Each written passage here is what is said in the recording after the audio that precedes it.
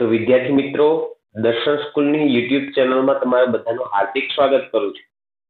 તો આપણે આજે ધોરણ નવમાની અંદર અઢારમો પાઠ જે છે બિલસ્ય વાણી ન કદાપી મેં શ્રુતા.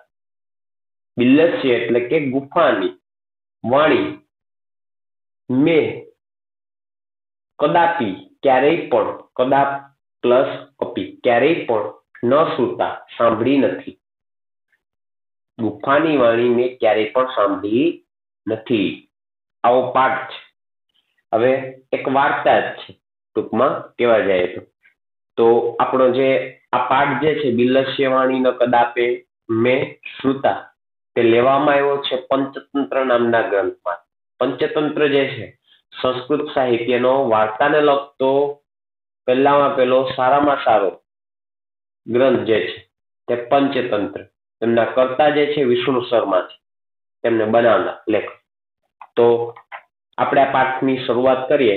તો સર્વપ્રથમ જે છે, બધાનું પુસ્તક છે એ પોતાની પાસે હોવું જોઈએ. સંસ્કૃત ભણતા હોય પાઠની અંદર તમને ખબર છે કે હું શબ્દાર્થ છે નથી લખાવતો, કારણ કે સત્તરમાં પાઠમાં પણ છે, સામાન્ય તો એ પ્રમાણે આમાં પણ એક પેજનું જે છે એ વાર્તા આપેલી છે. તો કે બહુ જાજુ છે નહીં એટલે પાકની અંદર વ્યવસ્થિત ધ્યાન આપવાનું અને એનું સમજવાનો પ્રયત્ન કરવાનો. બાકી હોમવર્કની અંદર જે છે તે ટિપ્પણ તમારી જાતે આમાંથી શોધીને લખી લેવાના, વ્યાકરણના મુદ્દા ખાસ લખવાના પાઠનું ભાષાંતર અને એના સ્વાધ્યાયના પ્રશ્નો તે તમારી જાતે કરી લેવાના રહેશે. તો અહીંયા આપણો અઢારમો પાઠની શરૂઆત કરીએ. તો બધા શાંતિથી સાંભળજો. તો પહેલા પહેલા જે છે, પ્રસ્તાવનાથી વાત કરીએ છીએ. તો કે સંસ્કૃત સાહિત્યની અનુપમ કૃતિ મનાતા વિશ્વભરમાં જાણીતા બનેલા પંચતંત્ર નામના કથા ગ્રંથમાંથી પ્રસ્તુત કથા લેવામાં આવી છે. એટલે કે બિલસ્ય વાણી નમ કદાપી મેં શ્રુતા. પંચતંત્રના કરતા વિશ્વ શર્મા છે. તેમણે અમરશક્તિ નામના રાજાના, તેમણે અમરશક્તિ નામના રાજાના પુત્રોને માત્ર સો માસના સમયગાળામાં રાજનીતિમાં નિપુણ બનાવવા માટે આ ગ્રંથ રચ્યો હતો. તો કે એની એક દંતકથા જે છે, કારણ કે કોઈને ખબર તો ન હોય, પણ અમરશક્તિ નામના રાજાના છ છ, જે પુત્રો હતા ત્રણ, તે છ મહિનાની અંદર રાજનીતિમાં નિપુણ બનાવવા માટે આ ગ્રંથની રચના થઈ પંચતંત્રની, કે વાર્તા દ્વારા બોધ મળી શકે. કારણ કે તે રાજાના પુત્રો બધા જે છે એ કેવા હતા, અજ્ઞાનીઓ. એટલે એના માટે થઈ અને વિષ્ણુ શર્માએ જે છે પંચતંત્ર નામના ગ્રંથની રચના કરી. પંચતંત્ર એટલે કે દ્વિગુ સમાસ થશે કેવો થશે? દ્વિગુ સમાસ. આમાં પંચતંત્રમાં કેટલા ભાગ છે? તો કે પાંચ. એ પાંચે પાંચ ભાગના એ નામ આપે. પેલું છે મિત્રભેદ. બીજું જે છે મિત્ર પ્રાપ્તિ ત્રીજું કાકુલકિયમ. ચોથું લબ્ધ પ્રવાસ અને પાંચમું જે છે, અપરીક્ષિત કારક. આ પાંચેય ભાગની અંદર વાત કરીએ તો મિત્રભેદ જે છે, તેમાં મિત્ર ભેદોની વાત આવે. તો કે મિત્રની વચ્ચે દરાર પાડી અને નોખા કરવામાં આવે તેવી પ્રાણીઓની વાર્તા મિત્ર પ્રાપ્તિની અંદર નવો મિત્ર મળવો. કાકુલકિયમ જે છે, એમાં ઘુવડના ગઢની વાત છે, કિલ્લાની વાત છે. લબ્ધ પ્રણાસ જે છે, એમની અંદર જે છે, ઘણી બધી વાર્તાઓ છે. જ્યારે અપરીક્ષિત કારકમ જે છે એમાં માણસોની પણ વાર્તાઓ, રાજા રાજકુમારોની પણ વાર્તાઓ આવેલી છે. માત્ર પ્રાણીઓની એમ પાંચ તંત્ર પ્રકરણ આવેલા એટલે એના કારણે આ ગ્રંથનું નામ પંચતંત્ર છે. તો દરેક તંત્રના પ્રારંભે પ્રથમ એક કથાની માંડણી કરાય છે. અને પછી તેમની પેટા કથાઓ તરીકે અનેક કથાઓ આવતી રહે છે. ગદ્ય અને પદ્ય એ બંને શૈલીમાં રચાયેલી નાની નાની સરસ પ્રાણી કથાઓની અદ્ભુત સંકલ્પનાઓ આ ગ્રંથમાં છે. દરેક કથામાં માણસનું બુદ્ધિ ચાતુર્ય વધે બુદ્ધિની ક્ષમતા વધે તેનો ખાસ ખ્યાલ રાખવામાં આવ્યો છે. કથાની અંતર્ગત કોઈ એક વિષયના અનુકૂળ તેમજ પ્રતિકૂળ બંને પક્ષ સામે ધરીને કથા વસ્તુને આગળ વધારવામાં આવી છે. કથા કથા કથા કથનની આ વિશિષ્ટ શૈલીના કારણે મનોરંજનની સાથે સાથે જીવનમાં ઉપયોગી એવો અમૂલ્ય ઉપદેશ પણ વાચકોને પ્રાપ્ત થતો રહે છે. એના માટે થઈને વાર્તાઓ રચવામાં આવે. આપણા પાઠની અંદર જે છે, શીખવાની જે કોઈ પણ બોધ મળે છે, તે કે છે કે આવનારી આપત્તિની જાણ અને પછી તે પછી તેમાંથી બચવાનો ઉપાય શીખવતી આ કથાનો અભ્યાસ કરવાનો છે. તો ખાસ કરીને અહીં વપરાયેલા અવ્યય પદોનો પણ અભ્યાસ કરશો. અવ્યય પદો તો આપણે ખબર હોય, અત્ર, તત્ર, તતઃ એવા બધા. તો ખાસ કરીને પાઠની શરૂઆત કરીએ. તો પહેલો ફકરો છે. કસ્મંચિત એટલે કે કોઈ એક. કસ્મંચિત અવ્યય છે. કોઈ એક વને જંગલમાં ખરણખર નામ સિંહ. ખરણખર નામનો સિંહ પ્રતિવસતી સ્મ રહેતો હતો. હવે એ સ્મનો પ્રયોગ થયો છે. પ્રતિવસતી સ્મ એટલે કે રહેતો હતો. પ્રતિવસતી જે છે તે વર્તમાન કાળનું રૂપ છે. પાછળ સ્મ લાગવાથી ભૂતકાળનો અર્થ થઈ જાય છે. એને સ્મનો પ્રયોગ કહીએ છે. તો ખરણખર આમાં જે બંને પાત્રો જે છે તેના નામ પ્રમાણે એના સ્વભાવ છે. તો કે જેના ખરન ખરહ ખરહ નખરહ. જેના એકદમ તીક્ષ્ણ ધારદાર નખ છે તે. બહુરી સમાસનું દાન છે. તેનું નામ પડ્યું છે ખરણકર, કે જેના ધારદાર નખ જે છે તેવો છે.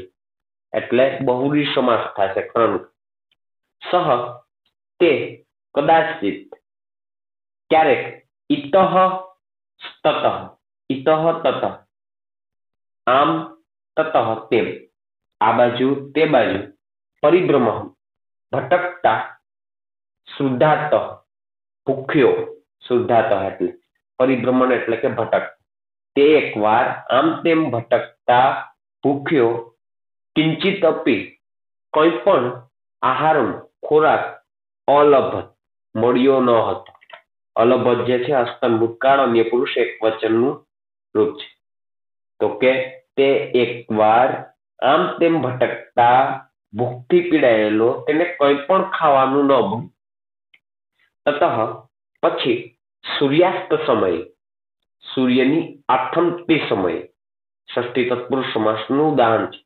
સૂર્યની આથમતી સમયે એકામ એક મહતી એટલે કે મોટી, ગુહામ, ગુફાને દૃષ્ટવા જોઈને, દૃષ્ટવા એટલે કે સંબંધક ભૂતકુદંતનું ઉદાહરણ છે. પછી સૂર્યાસ્ત સમયે સૂર્યની આથમતી વેળાએ એક મોટી ગુફાને જોઈ. સહ, તે તેણે અચિંતયત વિચાર્યું અથવા વિચાર કર્યો હતો. અચિંતયત જે છે તે હસ્તન ભૂતકાળ અન્ય પુરુષ એક વચનનું રૂપ છે. દૃષ્ટવા જે સંબંધક ભૃત કુદંતનું ઉદાહરણ પછી સૂર્ય અસ્ત સમયે એક મોટી ગુફાને જોઈને તેણે વિચાર્યું. નુનમ ખરેખર આવીએ છે એતાક્ષ્યમ, આ ગુહાયામ ગુફામાં રાત્રો, રાત્રિના સમયે કો અપી કહ પ્લસ અપી. કોઈ પણ જીવ, જાનવર આગચ્છતી આવે છે. ખરેખર આ ગુફામાં રાત્રે કોઈ પ્રાણી આવે છે. આગચ્છતી જે છે, સામાન ભાઈ વર્તમાન કાળ અન્ય પુરુષ એક વચનનું રૂપ છે. અતઃ આથી અત્ર એવ અત્ર એટલે કે અત્ર પ્લસ એ. અહીં જ અત્ર જે છે એ પણ અવ્યય છે, અતઃ છે પણ અવ્યય. અને એવ એટલે પણ અવ્યય. આથી અહીં જ નિગુડ્ઢો છુપાઈને ભૃત્વા થઈને, એટલે બંને ભેગું છે, ભૃત્વા જે સંબંધ ભૃત્કુદંત નો ઉદાહરણ. તો કે અહીં જ છુપાઈને હું તિષ્ઠામી ઊભો રહું છું. તિષ્ઠામી જે છે ઉત્તમ પુરુષ એક વચન વર્તમાન કાળનું રૂપ છે. ઇતિ. તો આથી હું અહીં જ છુપાઈને ઊભો રહું છું. એવું કોણ કહે? ખરણ તો પેલો ફકરો ફરીવાર એનું ભાષાંતર કરવું વિદ્યાર્થી મિત્રો, શાંતિથી સાંભળજો. કોઈક એક જંગલમાં ખરણખર નામનો સિંહ રહેતો હતો. તે એકવાર આમ તમ ભટકતા ભૂખથી પીડાયેલો, તેને કંઈ પણ ખાવાનું ન મળ્યું. ખોરાક ન મળ્યો. પછી સૂર્યની આથમતી સમયે એક મોટી ગુફાને જોઈને તેણે વિચાર્યું, ખરેખર આ ગુફામાં રાત્રે કોઈ પ્રાણી આવે છે. આથી હું અહીં જ સંતાઈને ઊભો રહું છું. હું અહીં જ સંતાઈને ઊભો રહું છું. ત્યારબાદ બીજા ફકરાની વાત કરીએ, વિદ્યાર્થી મિત્રો. એકસ્મિન અંતરે, એટલા સમય પછી, એટલા જ સમય પછી ગુહાયા ગુફાનો સ્વામી, એનો જે માલિક હોય ગુફાનો, તે એટલે કે દધીપૂંછ દધીપૂંછ એટલે જેની પૂંછડી નામ પ્રમાણે જે છે એનો ગુણ હોય. પૂંછડી જેની દધી એટલે કે દહીં જેવી સફેદ છે. જેની પૂંછડી દહીં જેવી સફેદ છે. તેવા નામનો શૃંગાલ એટલે કે શિયાળ સમાગત છતાં આવી પહોંચ્યું. સમાગત છતાં જે છે પણ અન્ય પુરુષ એક વચન હસ્તભૂતકાળનું રૂપ છે. એટલા જ માં ગુફાનો માલિક દધીપુત નામનું શિયાળ આવી પહોંચ્યું. સહ તેણે યાવત જેવું પશ્યતી એટલે કે જોયું. તેણે જેવું જ જોયું તાવત, ત્યાં તો સિંહપદ પદ્ધતિ સિંહના પગલાની છાપ ષષ્ઠી તત્પુરુષ સમાસનું દાણ સિંહપદ પદ્ધતિ સિંહના પગલાની છાપ. ગુહાયામ. ગુફામાં પ્રવિષ્ટા. પ્રવેશેલી. પ્રવિષ્ટા જે છે, તે કર્મણી કુદરતનું ઉદાહરણ છે. તેણે જેવું જોયું, ત્યાં તો સિંહના પગલાની, એના પગની છાપ જે છે, ગુફામાં પ્રવેશેલી. પણ બહિર આગતા બહાર આવેલી ન અપશ્ય. તેણે જોઈ ન હતી. અપશ્ય જે છે એ પણ હસ્તન ભૂતકાળ અન્ય પુરુષ એક વચનનું રૂપ છે. એટલે શું કે તેણે જ્યાં જ્યાં તો જોયું, ત્યાં તો સિંહના પગલાની સાપ જે છે ગુફામાં પ્રવેશેલી અને બહાર આવતી ન દેખાડી. જોઈની તો શૃંગાલહ અચિંત્ય શિયાળ જે છે તે વિચારવા લાગ્યો. અચિંત્ય જે છે પણ હસ્તભૂતકાળ અન્ય પુરુષ એક વચનનું રૂપ છે. અહો અરે, વિનષ્ટ અશ્મિ. હું તો મરી ગયો છું. વિનષ્ટ એટલે મારો વિનાશ થઈ ગયો છે. અશ્મિ જે છે, તે રૂપ છે. મી વહવાળું એટલે વર્તમાન કાળ ઉત્તમ પુરુષ.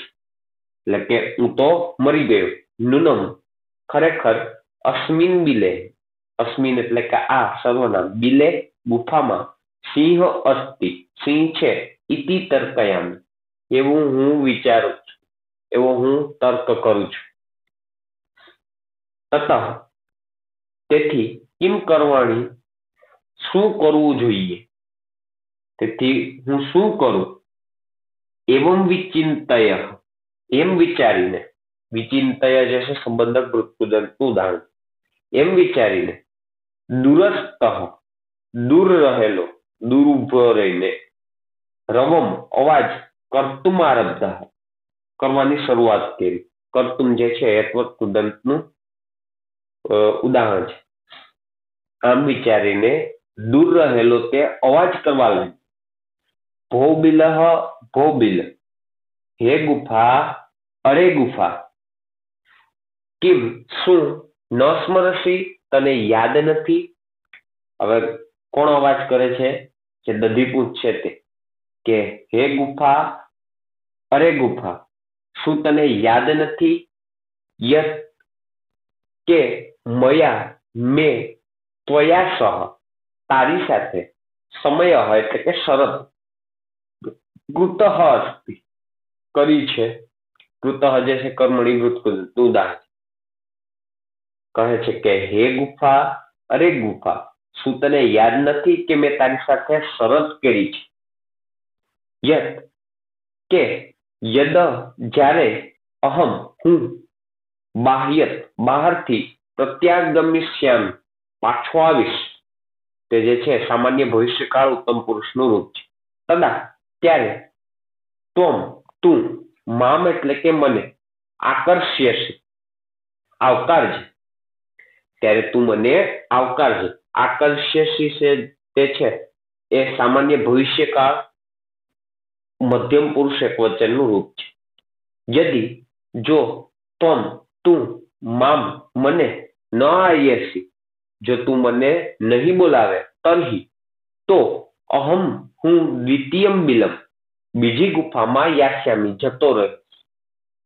તો હું બીજી ગુફામાં જતો રહીશ.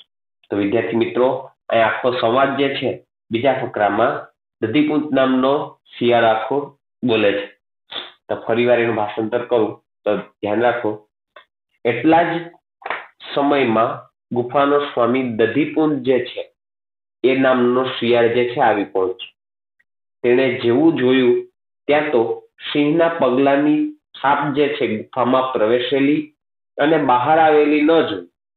શિયાળે વિચાર્યું કે અરે, હું તો મરી ગયો. ખરેખર આ ગુફામાં સિંહ છે, એમ હું વિચારું છું. તો મારે શું કરવું જોઈએ? વિચારીને તે દૂર ઊભો રહેલો અવાજ કરવા લાગ્યો. કહે કે, હે ભીલ હે ગુફા, અરે ગુફા, શું તને યાદ નથી કે મેં તારી સાથે શરત કરી છે? કે જ્યારે હું બહારથી પાછો આવીશ, ત્યારે તું મને આવકારીશ, બોલાવીશ. જો તું મને નહીં બોલાવી, તો હું બીજી ગુફામાં જતો રહીશ. આવો આખો સંવાદ કરે છે. અથહ હવે એતત શ્રુત્વા. આવું સાંભળીને શ્રુત્વા જે છે તે સંબંધક મૃતકુદંતનું ઉદાહરણ છે. હવે આ પ્રમાણે સાંભળીને સ, સિંહ સિંહ અચિંતયત. તેણે વિચાર કર્યો. નુનમ એસા ગુહા. નુનમ ખરેખર એસા, આ ગુહા, ગુફા સ્વામીન પોતાના માલિકને સદા સંમાહનમ કરો. હંમેશા જે છે બોલાવતો હશે. એટલે કે આવાહન કરતો હોય કે અંદર આવ. એવું બોલતી હશે. પરંતુ મદ ભયા મારા ડરના કારણે કિંચિત ન વદત તે કંઈ પણ બોલતી નથી. મારા ડરના કારણે તે કંઈ પણ બોલતી નથી.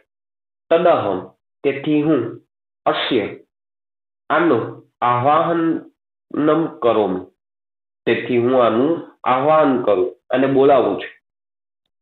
એવમ આ પ્રમાણે સહ તે બિલ્લે પ્રવિશ્ય, ગુફામાં પ્રવેશ્ય એટલે કે પ્રવેશીને મે ભોજ્યમ, મારું ભોજન ભવિષ્યથી થશે. આમ તે ગુફામાં પ્રવેશીને મારું ભોજન થશે. તો પ્રવેશ્ય જે છે સંબંધક મૃત્યુદંતનું દાન. ઇત્યર્થમ આ પ્રમાણે વિચાર્ય વિચારીને સિંહ વિચાર્ય જે છે પણ સંબંધક મૃત્યુદંતનું ઉદાહરણ. તો બોતેર પેજ ઉપર છે. એ બાકીનો પેરેગ્રાફ જે છે આપેલો છે ત્યાં. જો. સહસા એકાએક શૃંગાલસ્ય શિયાળને આહ્વાનમ કરો. આહ્વાન કરવા લાગ્યો. બોલાવા લાગ્યો. સિંહસ્ય ઉચ્ચ ગર્જનસ્ય સિંહની મોટી મોટી જે છે ગર્જનાના કારણે એના પ્રતિધ્વનિના ના પડઘાના કારણે સા ગુહા? તે ગુફા ઊંચે, મોટેથી છે, શૃંગાલમાં આવ્યા. તો કે શિયાળ બોલાવા લાગ્યો. આયત જે છે તે પણ અસ્તન, ભૂતકાળ, અન્ય પુરુષ એક વચનનું રૂપ છે.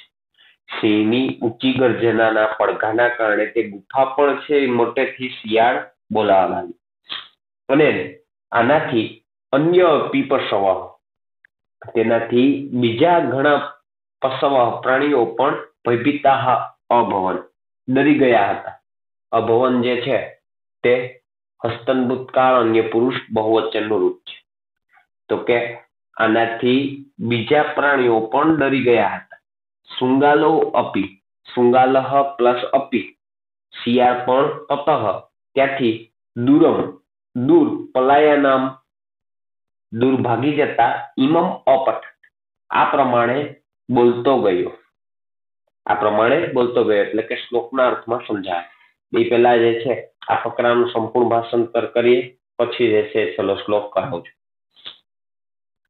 હવે આ સાંભળીને સિંહ જે છે, તેણે વિચાર્યું, ખરેખર આ ગુફાનો માલિક જે છે એને હંમેશા જે છે એ બોલાવતી હશે. પરંતુ મારા ડરના કારણે તે કંઈ પણ બોલતી નથી. તો હું આને બોલાવું છું. આમ તે ગુફામાં પ્રવેશીને મારું ભોજન થશે એમ વિચારીને સિંહે જે છે, એકાએક અચાનક જે છે, શિયાળને બોલાવા લાગ્યું. ગુફાની અંદર સિંહની ઊંચી ગર્જનાના પડઘાના કારણે ગુફા જે છે, મોટેથી શિયાળ બોલાવા લાગી એની ગર્જનાઓના કારણે. આનાથી બીજા પ્રાણીઓ પણ ડરી ગયા જંગલના અને શિયાળ પણ ત્યાંથી દૂર ભાગતા ભાગતા આ પ્રમાણે બોલતો ગયો. એટલે કે મુખ્ય સાર જે છે તે અહીંયા આપેલો છે. તો કે યહ, જે માણસ, યહ, જે અનાગતમ, ન આવનારી મુસીબત. અનાગતમ જે છે તે ન જ તત્પુરુષ સમાસનું દાન છે. જે ન આવનારી મુસીબત વિશે, જે ન આવનારી મુસીબત વિશે વિચાર કરે છે, પૂરતે કરે છે સહશોભતે તે શોભે છે. એટલે કે જે મુસીબત આવનારી હોય, તેના વિશે જે માણસ વિચાર કરતો રહેતો હોય, તે માણસને શોભે છે. તો કુરતે અને શોભતે, તો બંને જે છે તે તે અંતે આત્મને પદનું રૂપ છે વર્તમાન કાળ. અને સહ અનાગતમ ન કરોતી કરોત્ય અનાગતમ તે આપેલું છે. તો કે યહ જે માણસ અનાગતમ ન આવનારી મુસીબત વિશે વિચાર પણ કરતો નથી. તે સત્યતે એટલે કે ચિંતા શોકમાં પડી જાય કેની અંદર થાય છે ચિંતાનું પાત્ર બની જાય છે. તો કે ચિંતા ને ચિંતામાં કઈ ફેર કે જે ન આવનારી મુસીબતો વિશે છે વિચાર જ કરતો નથી ક્યારે તે દુઃખની અંદર પ્રવેશી જાય એટલે કે ચિંતા કરવા લાગે. અત્ર વને. અહીં જંગલમાં સંસ્થા થયા એટલે કે રહેતા. અહીં જંગલમાં મને રહેતા જરાહા સમાગત, ઘડપણ આવી ગયું. અહીં જંગલમાં રહેતા મને ઘડપણ આવી ગયું. કોણ કહે? દધીપુત નામનું શિયાળ. કે અહીં જંગલમાં રહેતા મને ઘડપણ આવી ગયું. પણ કદાપી ક્યારેય પણ મેં બિલ્લસ્ય વાણી ગુફાની વાણી મેં ક્યારેય પણ સાંભળી નથી. આપણા પાઠનો મુખ્ય હેતુ. એટલે છેલ્લા ફકરામાં ફરીથી એનું ભાષાંતર કરવું જોઈ લો. કે જે ન આવનારી મુસીબત વિશે વિચાર કરે છે, તે શોભે છે. અને જે ન આવનારા વિશે વિચાર કરતો નથી, તે માણસ ચિંતા કરે છે, શોક કરે છે.